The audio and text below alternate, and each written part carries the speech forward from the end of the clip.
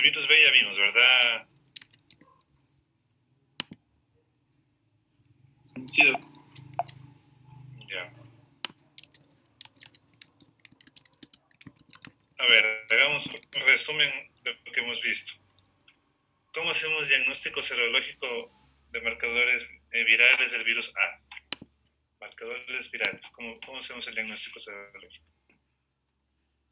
Ahí Doc era por medio de los este, IgM e IgG. IgM nos decía que era aguda e IgG que ya había eh, pasado. Exacto. Virus A. Virus B. ¿Cómo hacemos el diagnóstico serológico? Había tres cosas puntuales. Hay en cambio era el antígeno de superficie, el antígeno E y el ADN del virus. Muy bien. Muy bien, muy bien. Vamos a continuar.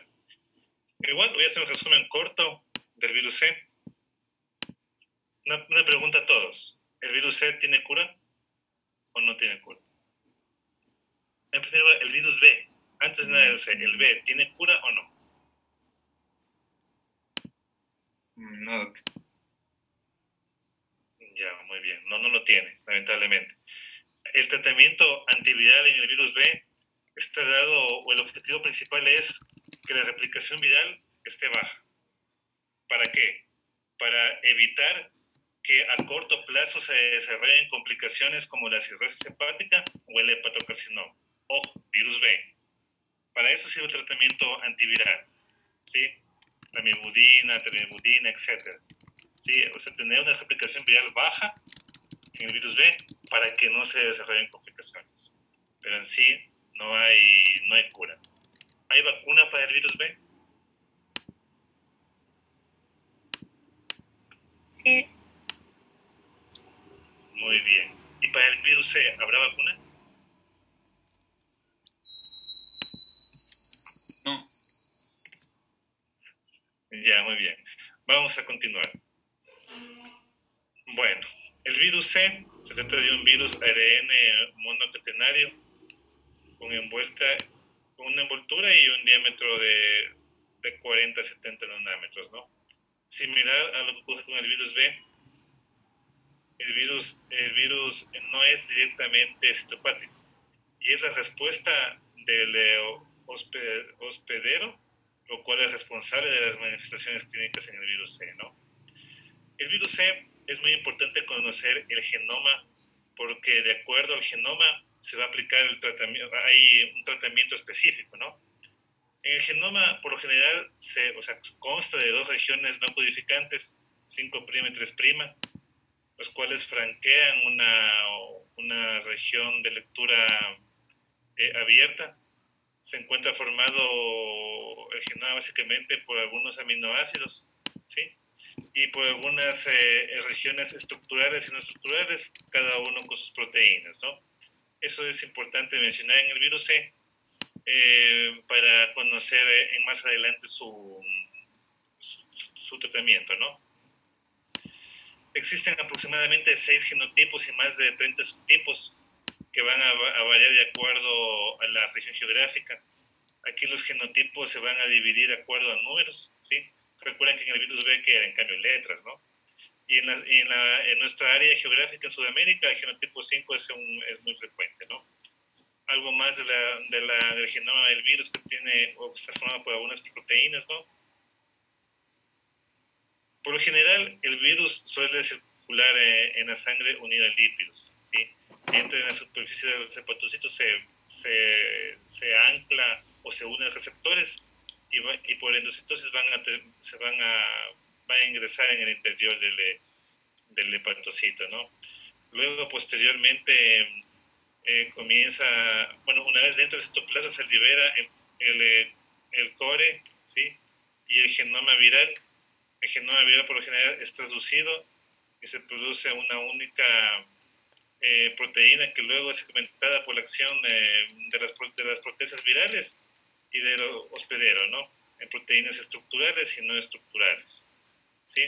Comienza a su vez eh, la formación de nuevas eh, cadenas eh, genómicas por acción del ARN viral, polimerasa, ¿no? El cual produce una cadena negativa que sirve a su vez para generar nuevas cadenas positivas genómicas y posteriormente se van a formar nuevas partículas virales, las cuales son ensambladas, empaquetadas en el retículo endoplasmático y migran al exterior para poder eh, infectar a nuevos eh, hepatocitos. ¿no?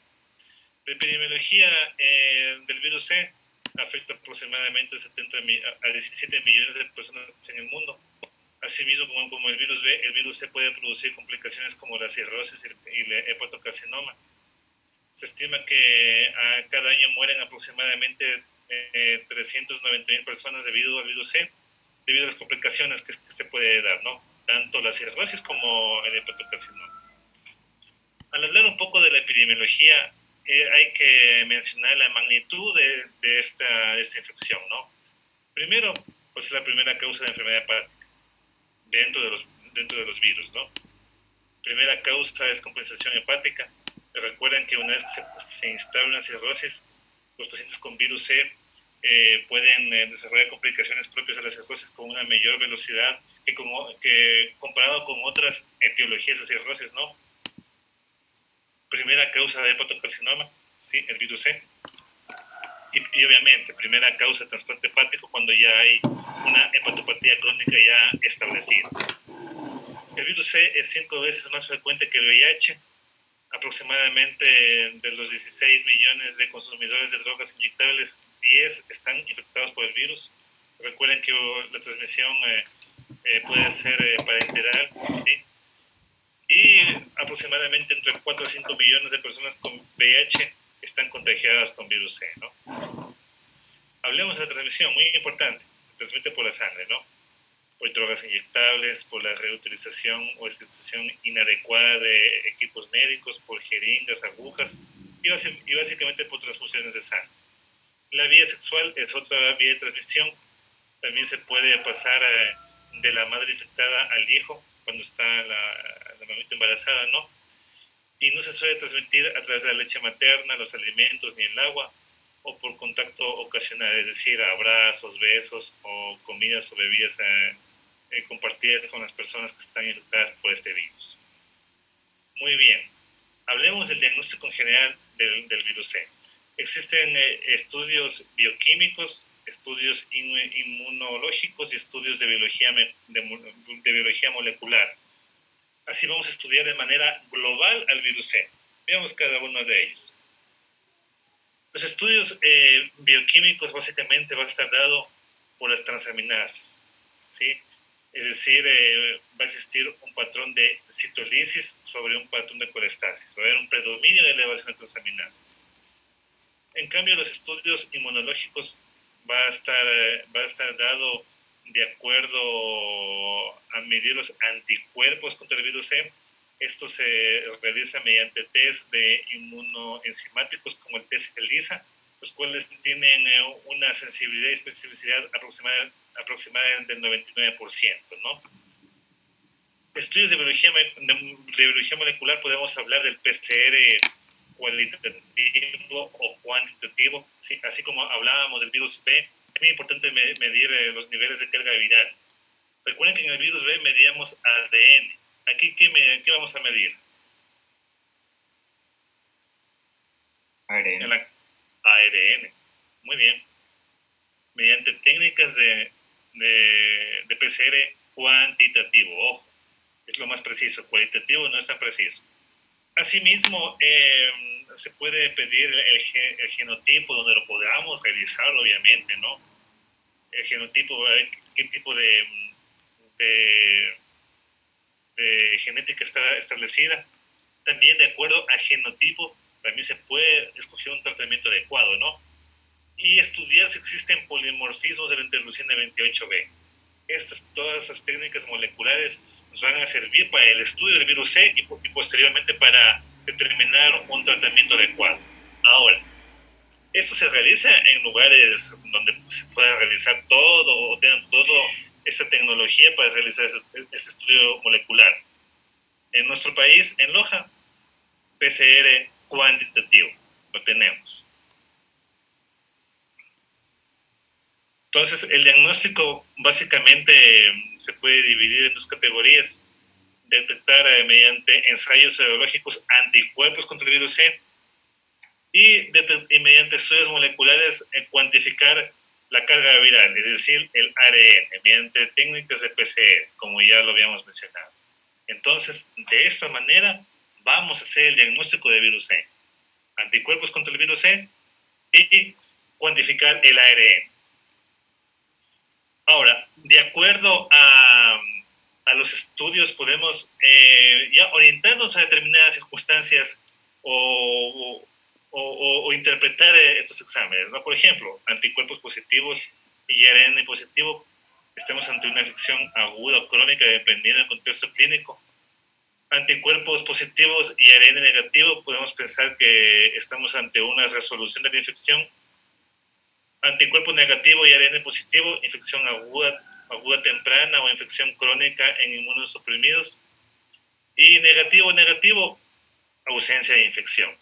Entonces, más o menos así vamos a interpretar los, los exámenes cuando tengamos, ¿no? Hablemos de la infección aguda. Se refiere por lo general a los primeros seis meses de infección por el virus C. Muy similar al virus B. Infección aguda, primeros seis meses. Gran parte de los pacientes en, la infección aguda son asintomáticos, pacientes que presentan, síntomas, eh, va a estar eh, caracterizado dado por ictericia, las náuseas, la orina oscura, es decir, la coluria, o dolor en el, en el cuadrante superior derecho. Asimismo, pueden existir elevaciones de las transaminasas, ¿no? que pueden ser eh, de moderadas a altas.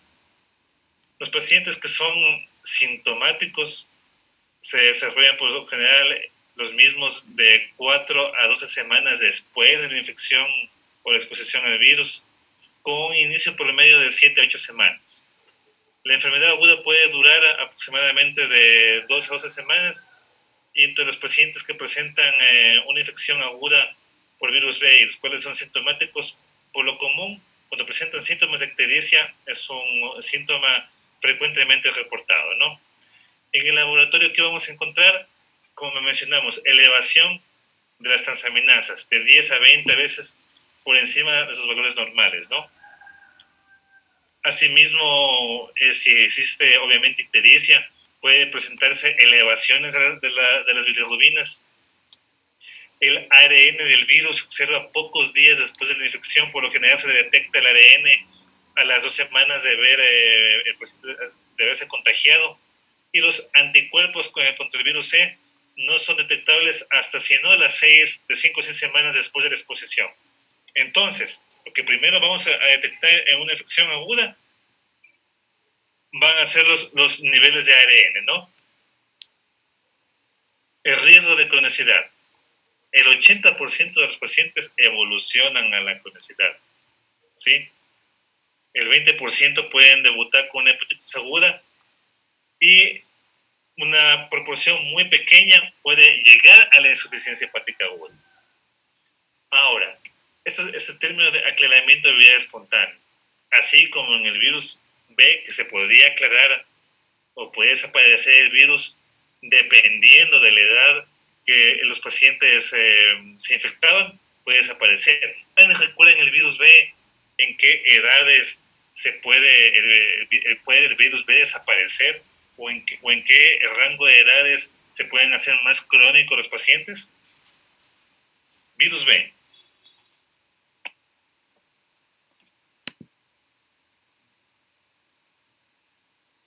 ¿Alguien recuerda? Eso puse en el virus B.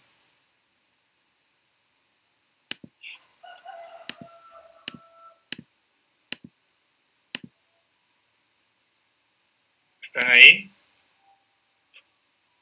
Tomamos un control de asistencia.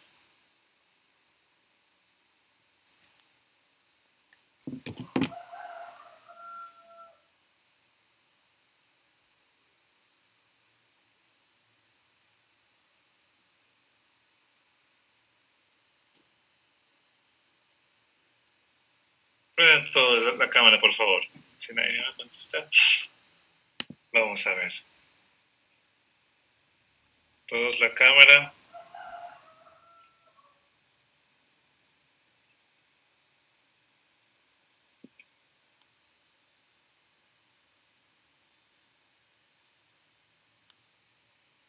José Sebastián. ¿Está manejando, creo, José Sebastián? No, lo que pasa es que tuve un inconveniente en, internet de mi casa y estoy yéndome a un lugar en, que sí tenga internet. Ah, en el Don Daniel hay internet también. Y también en parte de comidas del, del Super Maxi.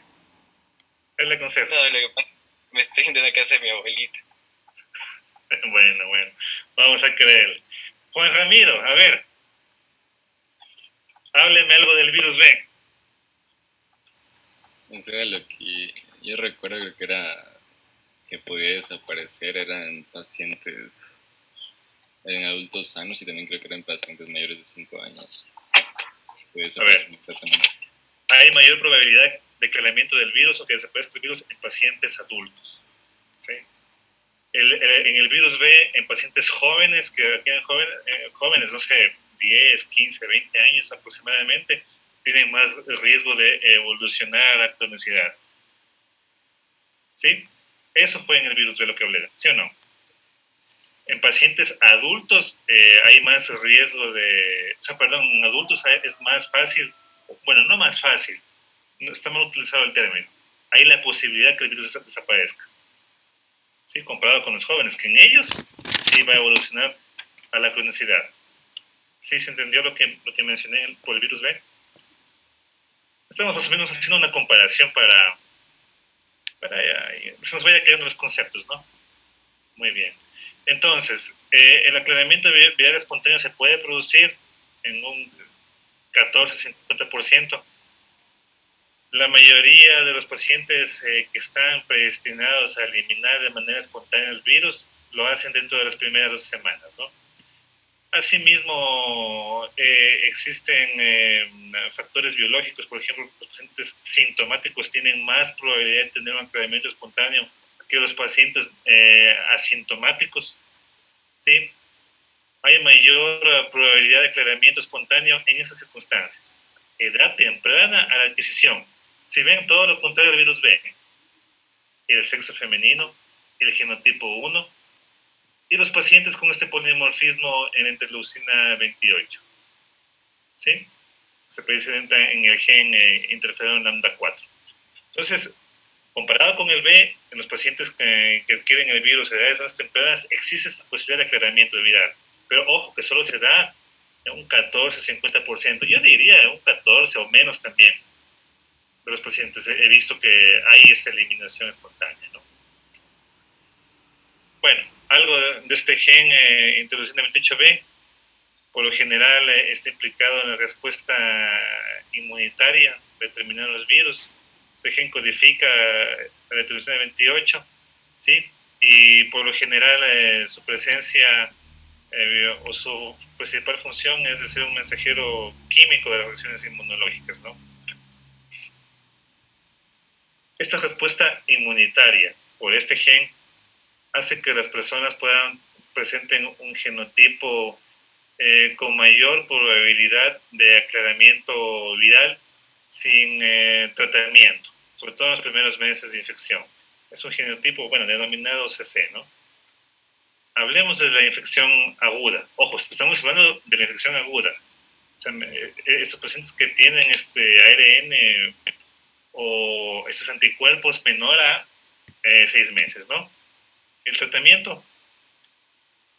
Podemos mencionar que si se toma la decisión de tratarlo durante una infección aguda, generalmente esperamos 12 semanas desde el momento de la inoculación o el diagnóstico si se conoce el momento, si, no se, si, se, desconoce el momento de la infección, antes de comenzar eh, con el tratamiento. ¿Para qué? Para permitir o para verificar si realmente se puede producir este aclaramiento de vida espontánea. Entonces vamos a esperar 12 semanas, pero cuando sabemos cuándo se infectó el paciente, ¿no? Hablemos del tratamiento. Existen dos grupos, el interferón pegilado eh, o convencional más la ribavirina y el otro grupo son los agentes antivirales de acción directa. ¿Sí? Los dos principales eh, grupos.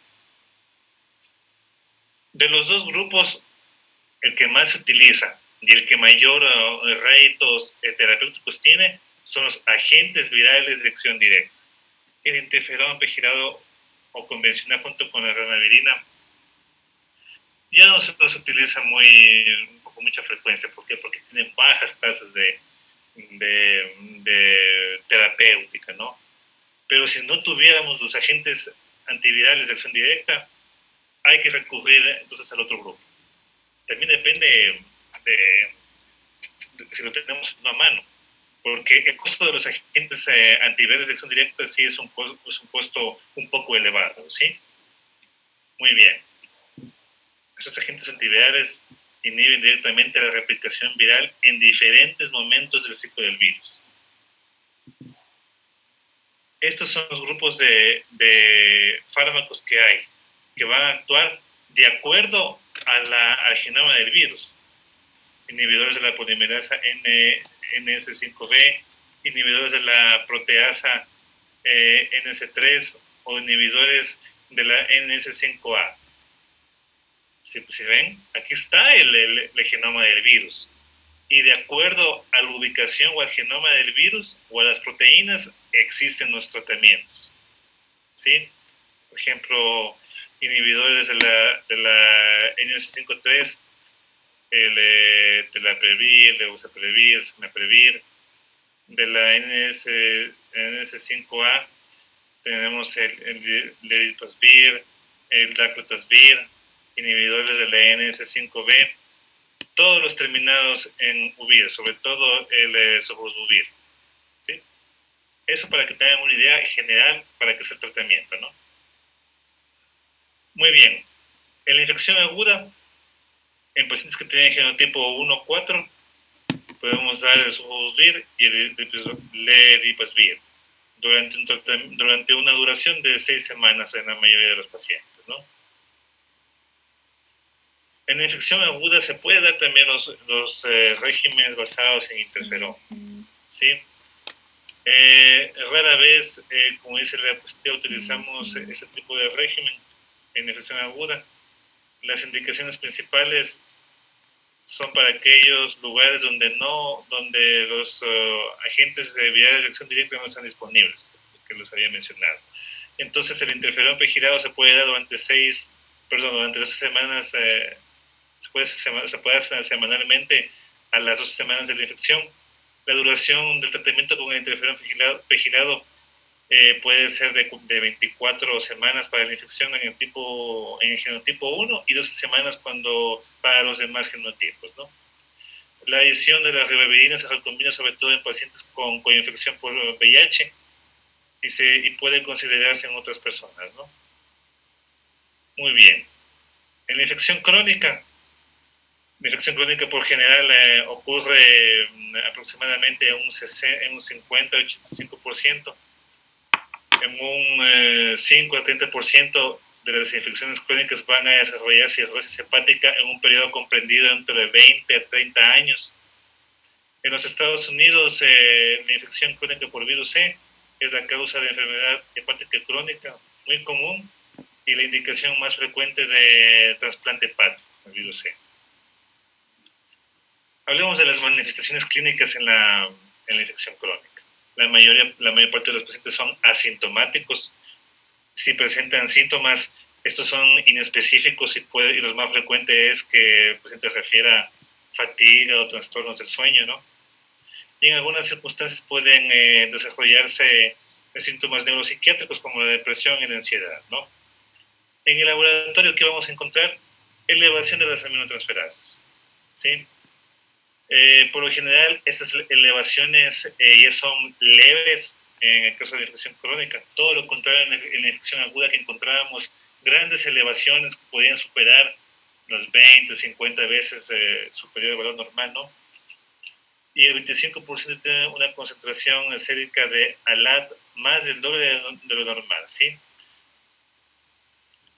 Los niveles séricos, eh, los niveles víricos del, virus C permanecen generalmente constantes o que pueden producirse algún tipo de fluctuaciones significativas, es decir, los marcadores virales o, o, el PCR de este virus puede ir aumentando o disminuyendo y tener fluctuaciones, ¿no?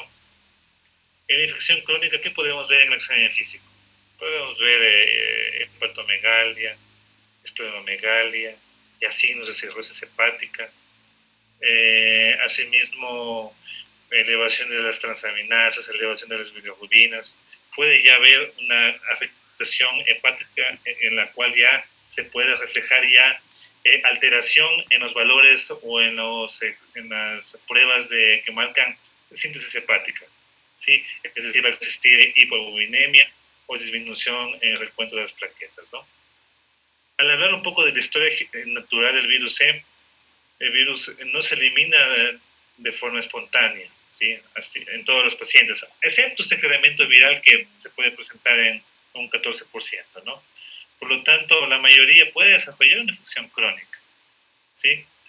El riesgo de, de infección crónica es elevado en nuestros pacientes.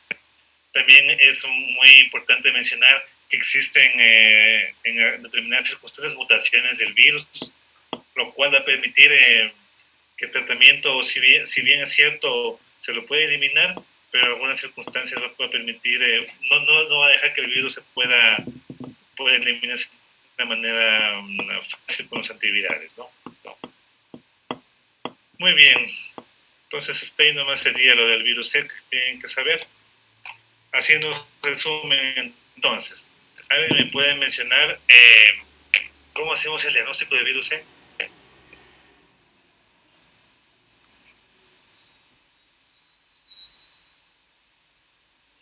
con el anti-VHC. ¿Qué es el anti-V? ¿Qué es anti-VHC? Y también hablaba del RNA-VHC. Bueno, tiene en parte razón, pero quisiera que me lo digan más detenidamente en el idioma que hablamos. Las pruebas eran serológicas para determinar los cuerpos se encuentra la hepatitis C y también los calculares, que eran las que mencionaba mi compañera del ARN, del virus, la relación del PCR. Muy bien.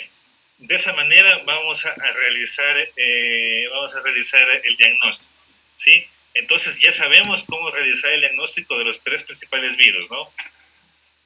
Muy bien, me quedo satisfecho con eso.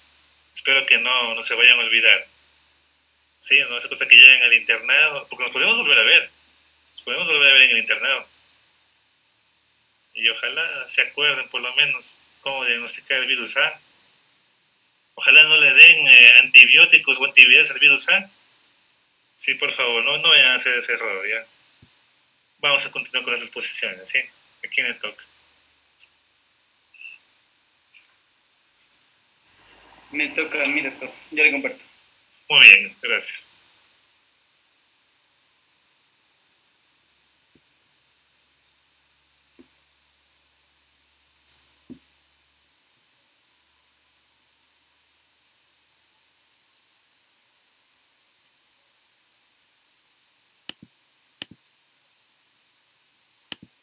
Bien, eh, yo les voy a exponer acerca de lo que es la hepatitis autoinmune.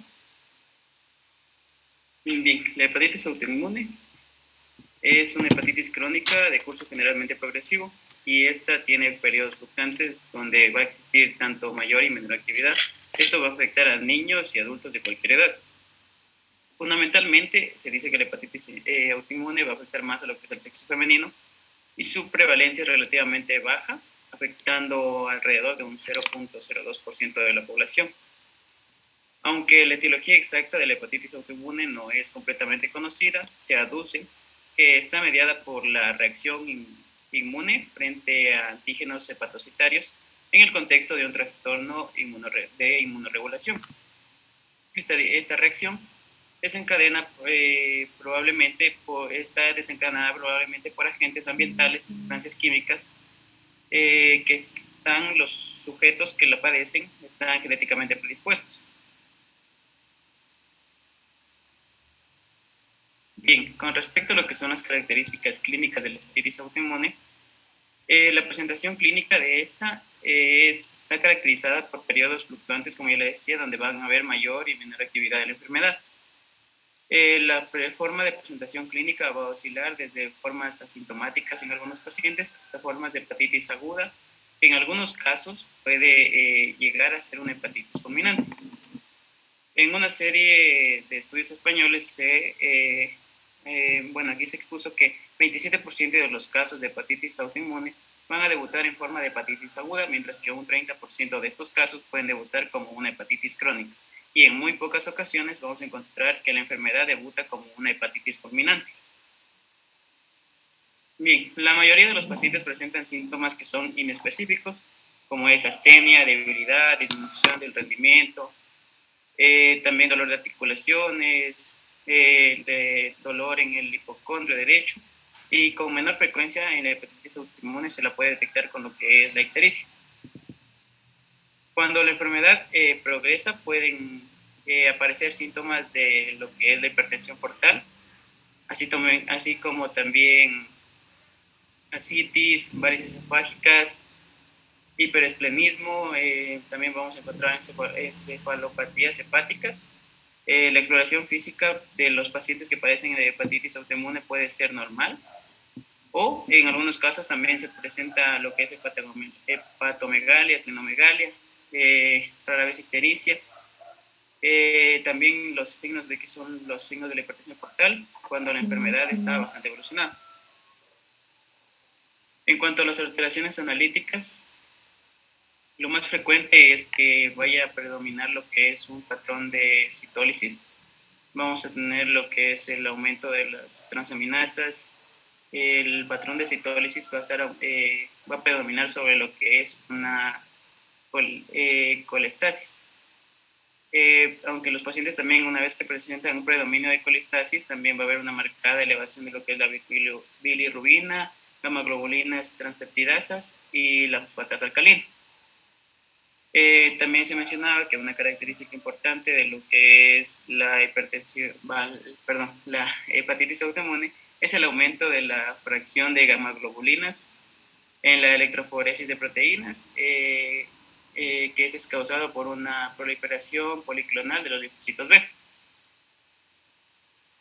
Bien, la hipergamaglobulinemia se puede producir de forma característica a expensas de lo que son las inmunoglobulinas G, mientras que el resto de las inmunoglobulinas se va a mantener dentro de los que son los valores normales.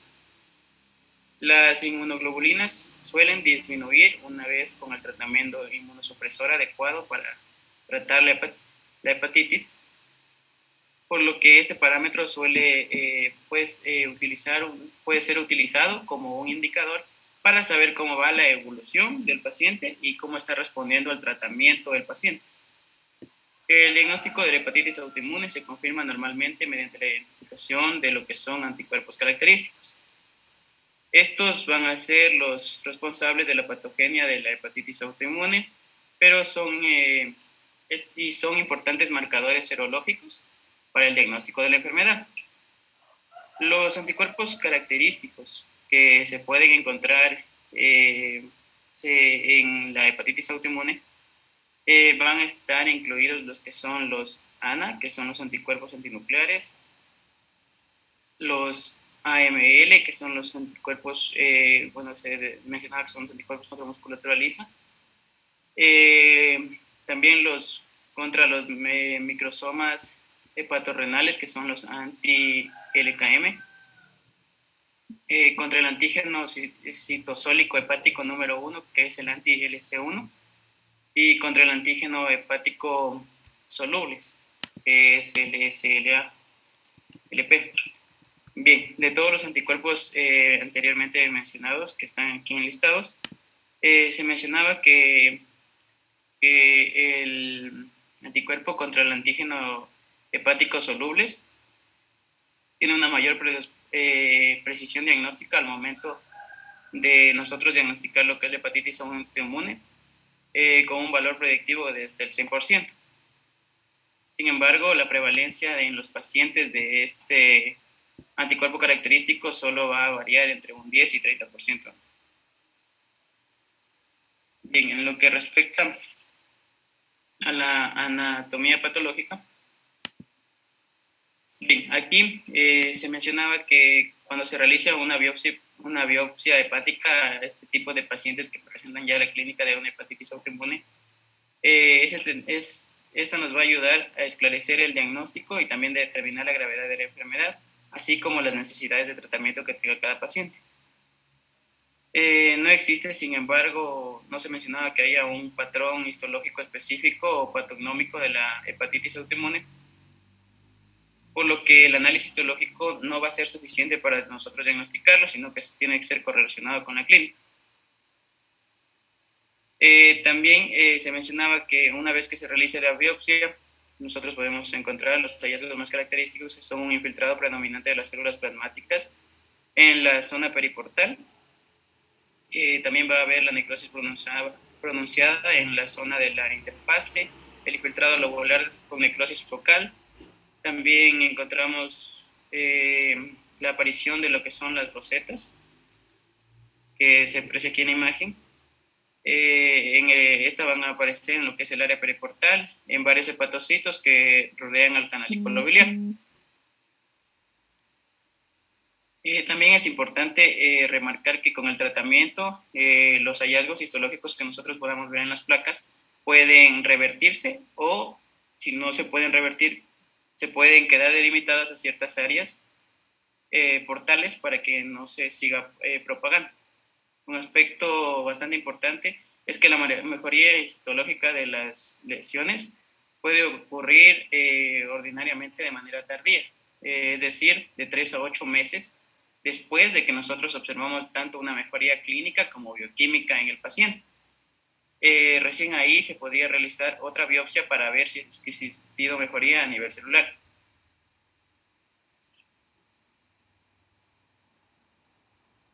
Bien, con respecto a lo que es el diagnóstico.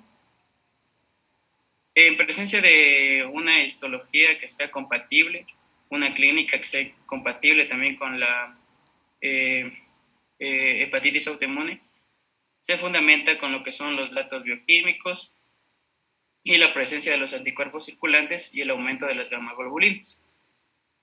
Eh, la concentración de los anticuerpos que vamos a encontrar puede variar mucho durante el desarrollo de la enfermedad y parece, eh, bien, y aquí se decía que no parece tener relación con la actividad inflamatoria del hígado. Eh, por lo tanto, eh, los niveles bajos de anticuerpos, cuando existe un nivel bajo de anticuerpos en el hígado, no se va a excluir del todo que haya una hepatitis autoinmune. De la misma manera que cuando existe, nosotros encontremos unos niveles altos de anticuerpos en ausencia de otros parámetros, eh, tampoco deben llevar a un diagnóstico precipitado de hepatitis autoinmune.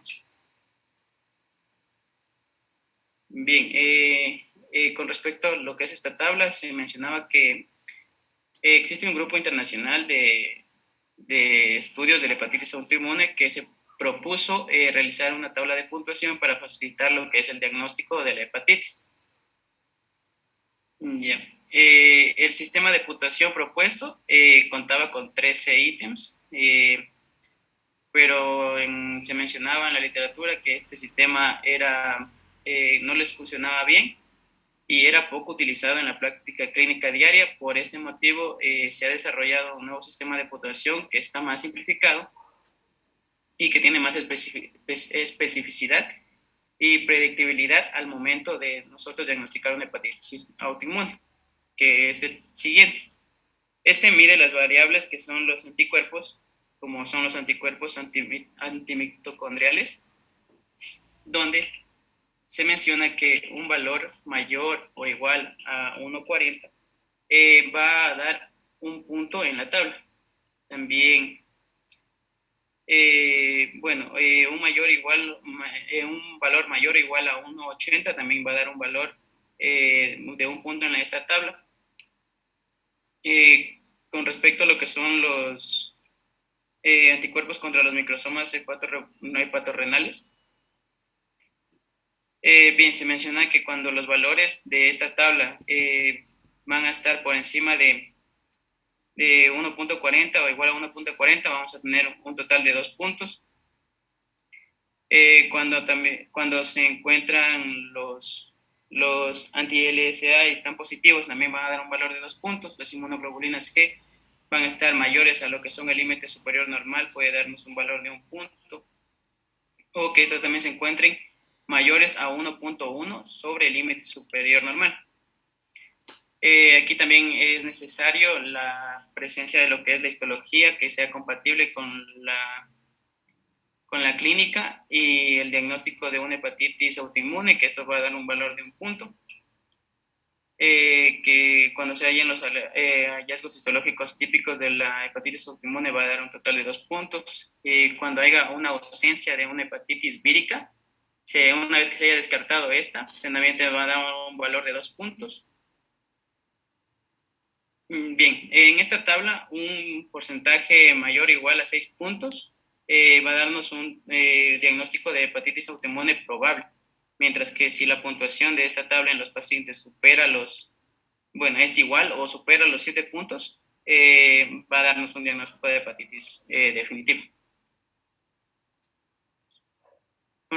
Con respecto, a lo que son los subtipos de la hepatitis autoinmune, Bien, aquí se mencionaba que esta va a estar caracterizada por la identificación de lo que son los anticuerpos eh, eh, antimitocondriales y los anticuerpos antimúsculo liso.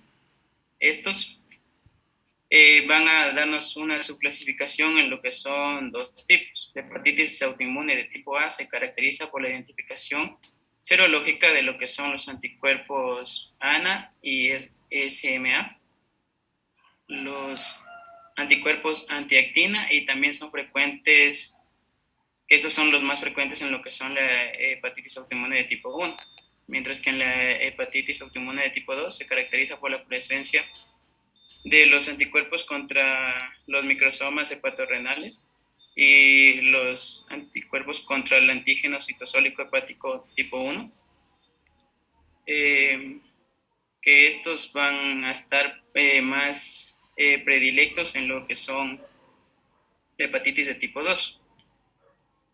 Bien, aquí se decía una diferenciación, ya que se decía que la hepatitis de tipo 1 eh, es la más clásica y se va a presentar de forma más frecuente como enfermedad, con un total de, cuando se diagnostica una hepatitis autoinmune, el total de casos de tipo 1 van a ser entre el 70 y 80, mientras que el, el tipo 2 va a variar entre el 20 y el 30.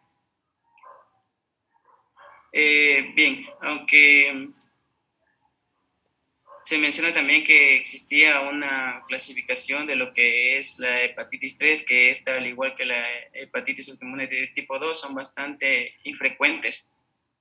Eh, y tampoco se decía que está del todo claro eh, cuáles son los anticuerpos que permiten diferenciar su subgrupo y que tampoco nos daba una evolución clínica constante que nos permita diferenciarlos.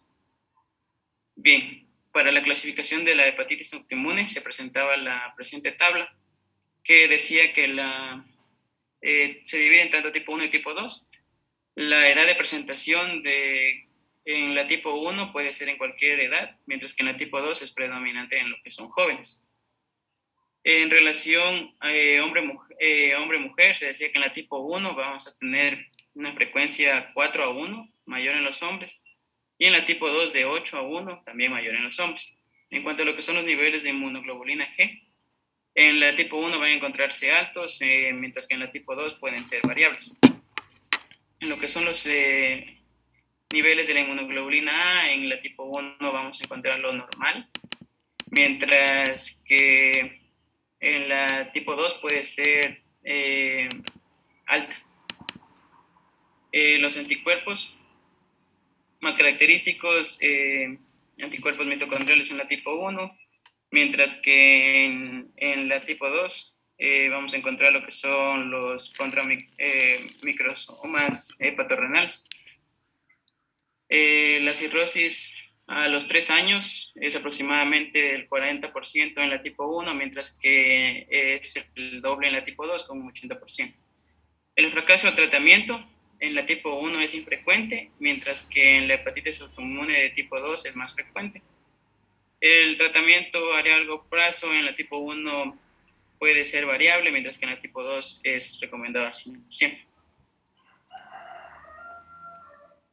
Bien, en cuanto a la evaluación serológica, eh, la identificación de lo que son los anticuerpos eh, se puede realizar por fases en la primera fase eh, de prueba, eh, se realiza un test de inmunofluorescencia.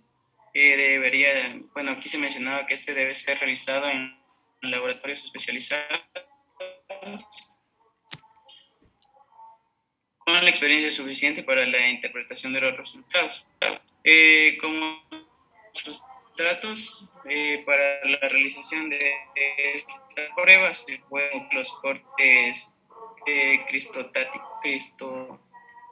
eh, lo que son el hígado, los, el hígado, los riñones, el estómago, así como también se puede hacer un cultivo de, de células. De esta manera se puede identificar lo que son los anticuerpos eh, antinucleares, los anticuerpos antimúsculo liso, los anticuerpos eh, antimitocondriales, eh, los contra los anti los anticuerpos contra los microsomas hepatorrenales y los eh, contra el antígeno citosólico hepático tipo 1, que son los anticuerpos más característicos de la enfermedad. Adicionalmente, también se pueden detectar algunos anticuerpos mediante lo que es el, el, el ISA, el, el Western Blot y el radio, radio sobre aquellos, sobre estos antígenos específicos que les estaba mencionando. Y aquí, como eh, se mencionó antes en el, en el diagnóstico, se considera que los niveles de anticuerpos eh, igual, igual o mayor a 1,40 a eh, ya están considerablemente elevados en adultos, en los adultos, mientras que en los niños con un valor de 1,20 por encima de anticuerpos, ya se encuentra elevado.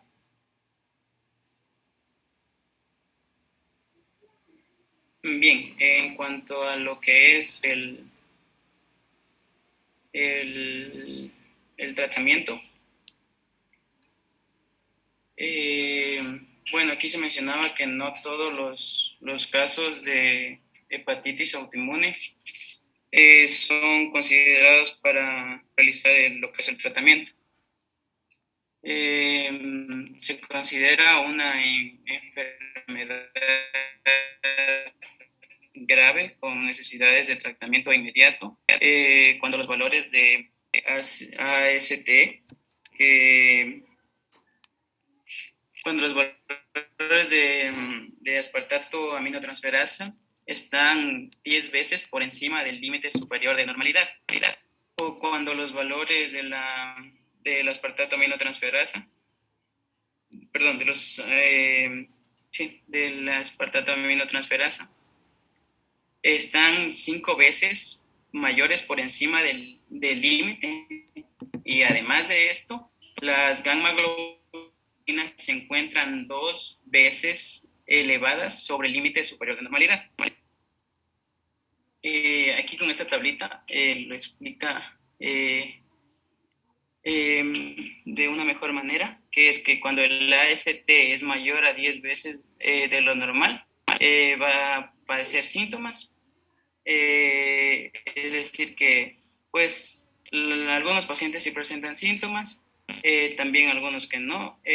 cuando el AST es mayor a cinco veces por encima del valor normal y además que las gamma globulinas estén también elevadas dos veces por encima del límite superior. Eh, también eh, vamos a, encontrarlo como una cirrosis inactiva. Y eh, también vamos a encontrar lo que se llama necrosis en puentes. aquí podemos encontrar de forma relativa lo que, lo que es la hepatitis interfase y no vamos a encontrar lo que es hepatitis portal. Eh, bien, como ya mencionaba, lo que es la necrosis en puente es también denominada como la necrosis de muchos asinos, eh, que predicen el desarrollo grave de la enfermedad. Esto va a ayudarnos a identificar un grupo de pacientes eh, sin tratamiento adecuado rápidamente podrían desarrollar lo que es cirrosis o una insuficiencia hepática. Eh, por lo tanto, la presencia exclusiva de, estos cambios histológicos, que son la necrosis en puente, es un argumento suficiente para iniciar lo que es el tratamiento inmunosupresor, aunque los cambios clínicos y serológicos sean poco destacables.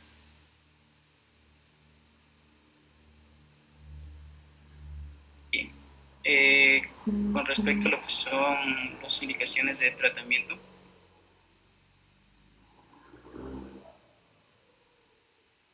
Bien, las indicaciones de tratamiento pediátrico. Bien, las indicaciones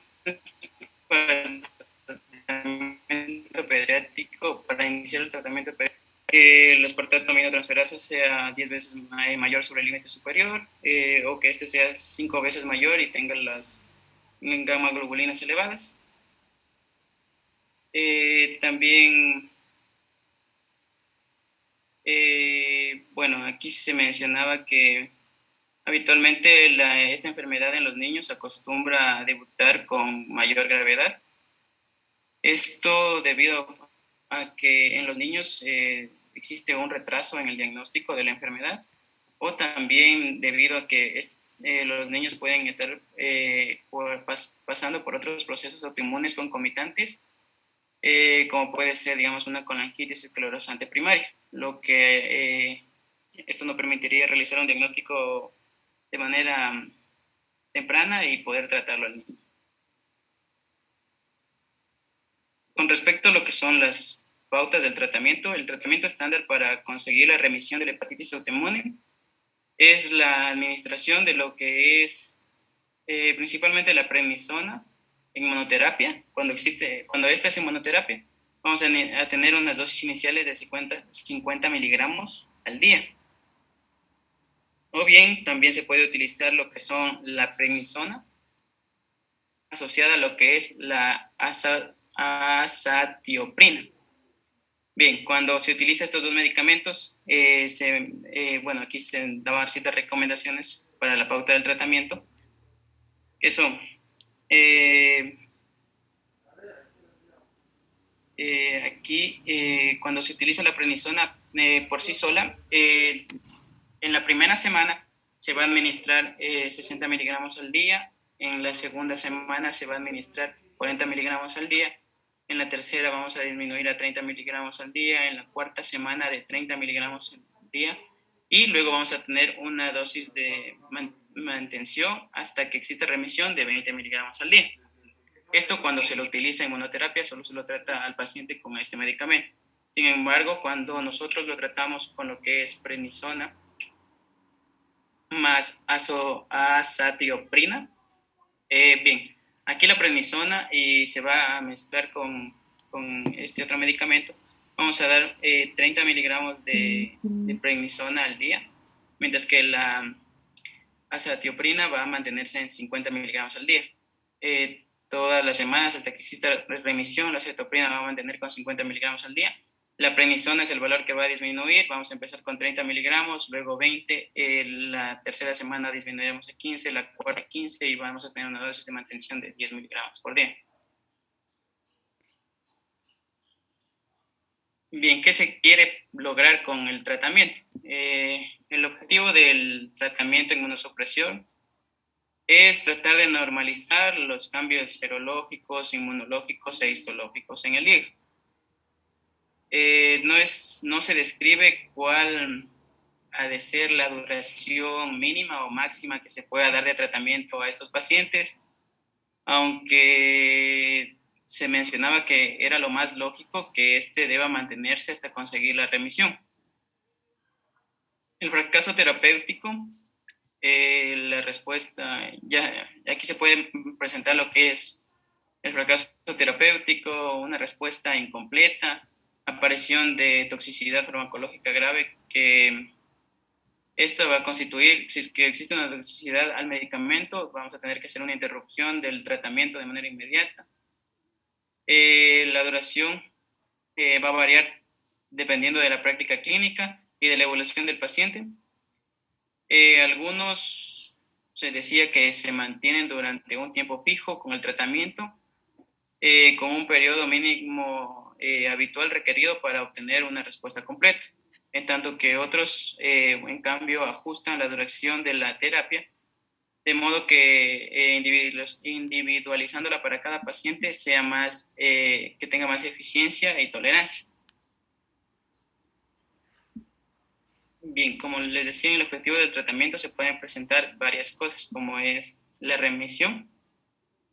Bien, ¿qué criterio nos puede dar eh, una remisión? este va a ser cuando exista una desaparición de los síntomas eh, se normalicen lo que son las transaminasas y gamma, globulinas y cuando una vez se observe que el tejido hepático vuelva a ser normal o eh, se encuentre en una cirrosis inactiva.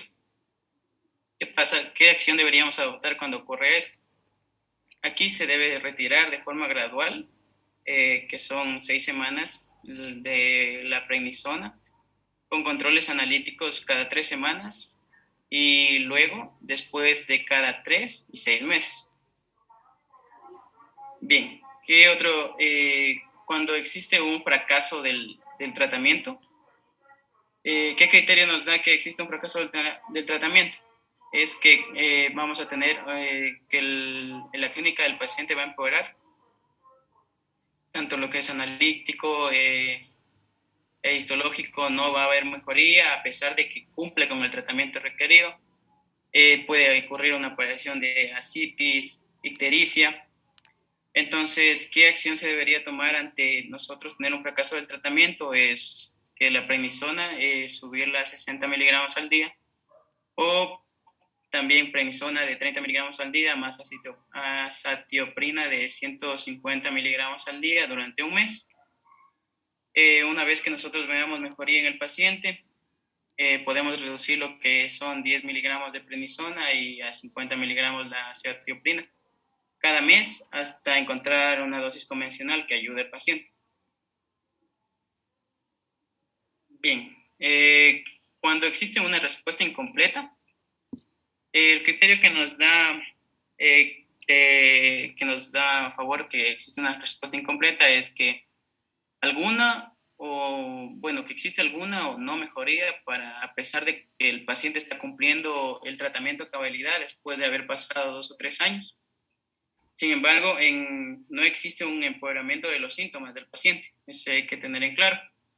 Eh, ¿Qué acción podemos eh, adoptar? Es reducir la dosis de prednisona a 2.5 miligramos al mes hasta la dosis mínima posible eh, que es menor o igual a 10 miligramos al día para evitar que haya un aumento de lo que son el, el aspartato aminotransferasa o el alaninotransferasa. Bien, aquí también eh, la azatioprina indefinida de 2 miligramos por kilo de peso al día como una alternativa al tratamiento en caso de una, que, el paciente padezca de una intolerancia a los corticoides.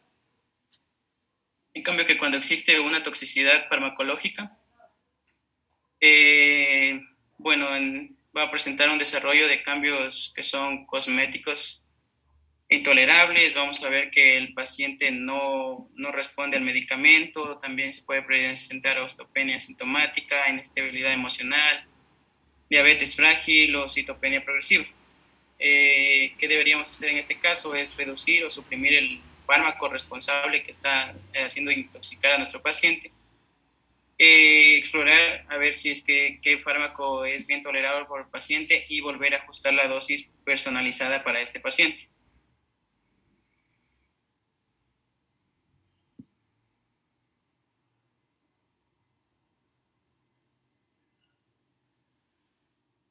Bien.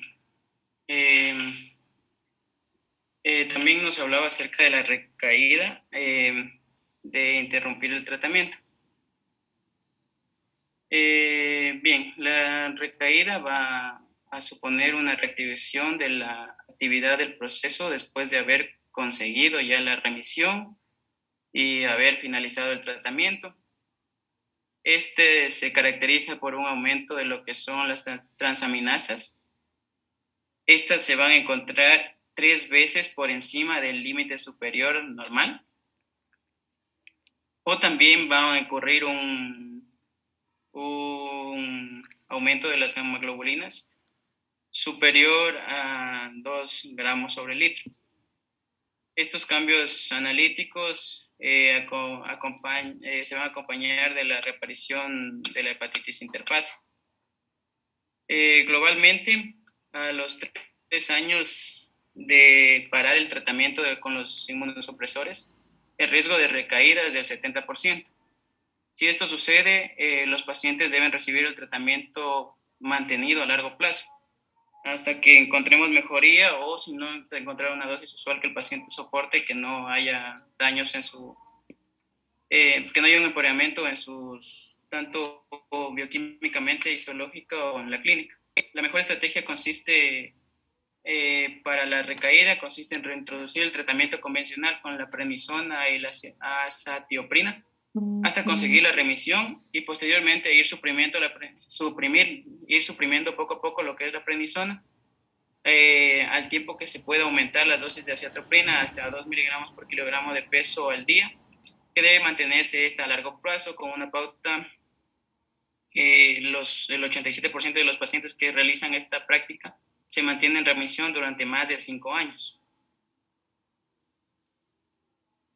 Y por último, en el caso del trasplante hepático, bien, aquí se mencionaba que la hepatitis autoinmune acostumbra a ser la causa entre el 4 y el 6% de los trasplantes de hígado que se realizan en lo que es el mundo occidental. Este trasplante hepático solo está indicado en pacientes eh, refractarios o intolerantes al tratamiento inmunosupresor es decir, que con el tratamiento clásico para la hepatitis autoinmune no lo puedan soportar y les causa algún otro daño. Eh, este, eh, cuando ellos son intolerantes, pueden, eh, se desarrolla, digamos, una hepatopatía terminal. Y en aquellos, también está indicada también en aquellos raros casos donde la enfermedad debuta en forma, en forma de insuficiencia hepática grave, aguda grave que se presenta de forma rápida. Eh, la supervivencia de un paciente que se realice un trasplante hepático es de 10 años eh, con un porcentaje del 75%. A pesar de que se haya comunicado la, una recurrencia de hasta el 40%, a cabo de un, de un tiempo de 5 años puede volver a recaer en la enfermedad. Muy bien, muchas gracias Adrián. Eh, bueno, eh, así vamos a continuar porque ya me toca empezar con otro paralelo, ¿sí? Nos vemos el día martes, ¿ya? Eso sería todo, ¿sí? Gracias.